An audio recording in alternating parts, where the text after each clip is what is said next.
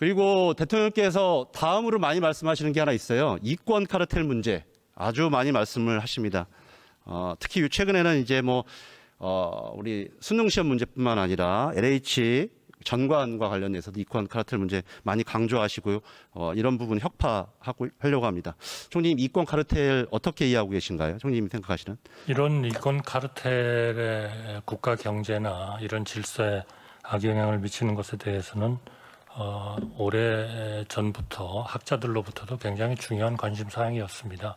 메릴랜드 대학에서 교수를 했었던 맨슈어 올슨 같은 분은 결국 그 국가가 이런 이권 카르텔 같은데 발목을 잡혀가지고 제대로 된 개혁도 하지 못하고 어, 국정의 개선도 못하는 그런 사례들을 많이 그러면 얘기하고 있- 총리 있죠. 그, 그 부분에서 이 이권 카르텔의 핵심이 인사 문제라고는 생각하지 않으십니까? 저는 뭐 여러 분야에 있겠죠. 이 이권 카르텔. 근데 결국은 어, LH 문제라든지 이런 걸 볼 때 어제도 제가 국토부 장관한테도 질문했습니다만 이권 카르텔이 전체 집합이면 이 전관 이유라든지 이런 것들이 고리 또는 부분 집합으로서 핵심적인 역할을 한다 하는데 동의를 하시더라고요.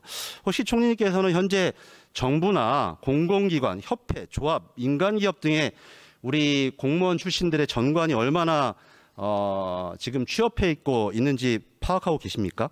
정확한 숫자는 모르겠습니다만은 그런 취업하는 데 따르는 일종의 에, 이해 충돌 이런 거를 막기 위해서 정부에서 어, 법률을 시행하고 있고 어, 예를 들면 어, 그런데 그게 좀 잘 작동하지 않는 부분이 있는 것 같아요. 제가 예를 하나 보여드릴게요. 제가 어제도 도태에서 질문했는데요.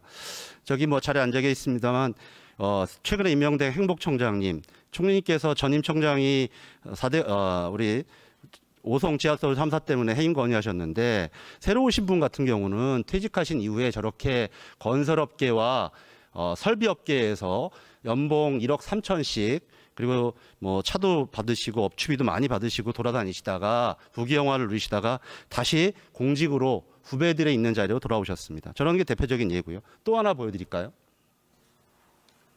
최근에 또 문제가 됐습니다. 연봉 4억이 넘는 전문 건설 공제조합. 잘 아실 겁니다.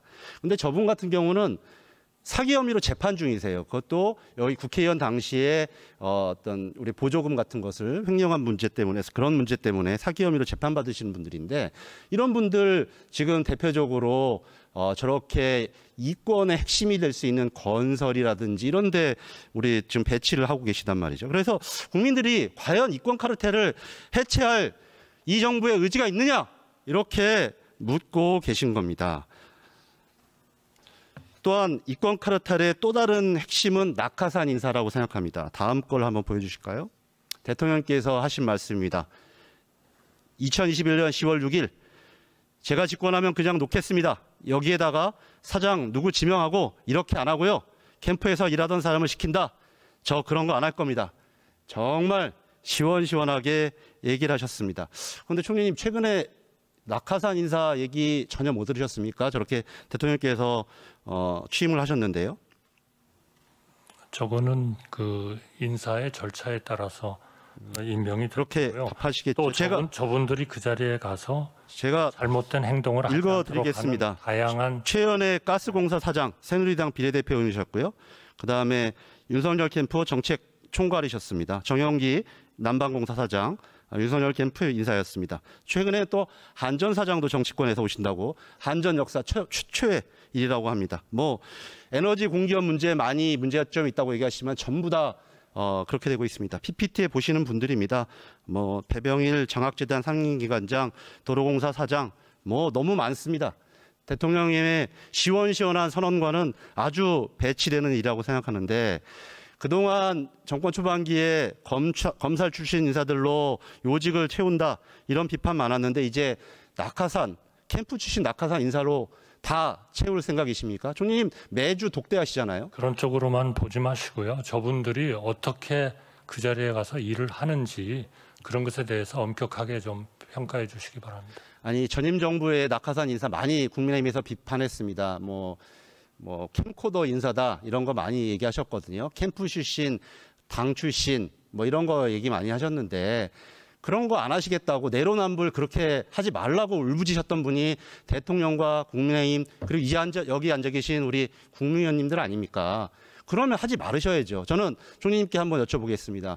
이 자리에서 더 이상 낙하산 인사를 금지한다. 그리고 많은 공직에 있는 사람들이 다시 기관장, 협회, 산하기관으로 가서 핵심 이권 카르텔의 핵심을 할 수- 하지 못하도록 전면 금지하는 그런 정책을 시원시원하게 추진하겠다. 그렇게 할 용의는 없으십니까?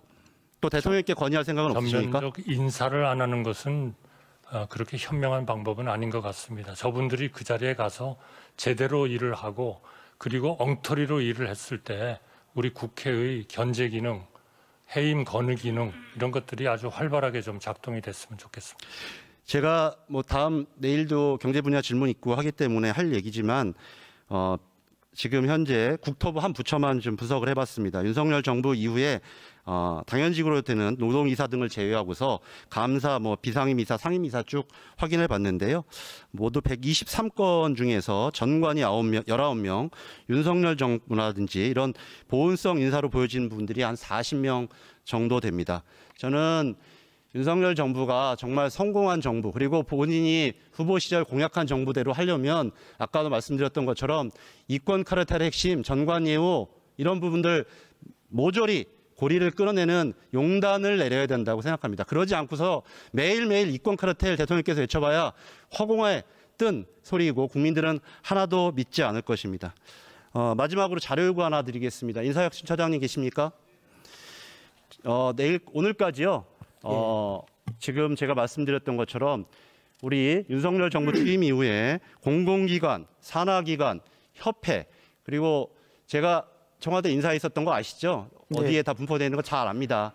거기에 따른 사- 다 인사 분포 내용, 인사 사항들 여기에는 경력 등 포함해서 그리고 자기소개서도 같이 부탁드립니다. 왜냐하면 당 경력이라든가 이런 것들을 안 쓸 경우가 많기 때문에 자기소개서에는 많이 나타난 경우가 최근에도 있었습니다. 그래서 이런 부분들